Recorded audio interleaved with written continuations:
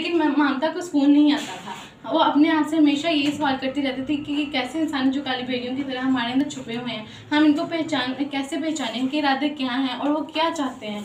और हम इनके मैं दूसरे शहीदों का खून किन के हाथों में तलाश करूँ? आज सानिया पेशावर पेशावर में स्कूल पर हमले के ना हमले के बाद ना सिर्फ़ बीचान बल्कि सब पर ये आया हो गया कि इन दरिंदों का असल मकसद क्या है और वो क्या चाहते हैं। और ये, लेकिन वो यही सोचती रही कि कैसे बदलें, ऐसे में इनके कानों में ये ये मिली ताने की आवाज़ सुनी कि हौसला ना हारो, आगे बढ़ो, मंजिल आपके दूर बीचान ने कस्बे के तमाम लोगों को जमा किया और मशवरा करने के बाद बोली, अब वक्त आ गया है कि उन अफराद की कौम हर बच्चे, बूढ़े और लोगों को करना है।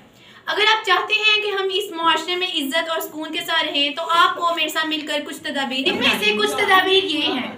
सबसे पहले तो आपने अपने मोहल्ले, कस्बे में देखना है कि इर्द गिर्द कोई मशकूक या कोई अजनबी शख्स तो नहीं खड़ा हुआ।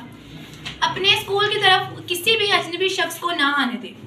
इमरजेंसी पर रबता करने के लिए किन किन फ़ोन नंबर्स पर हम रबता कर सकते हैं? उनके बोर्ड अपने मोहल्ले में हर जगह अवेजा कर लें।